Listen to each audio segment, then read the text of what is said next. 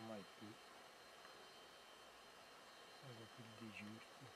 Tito. Não,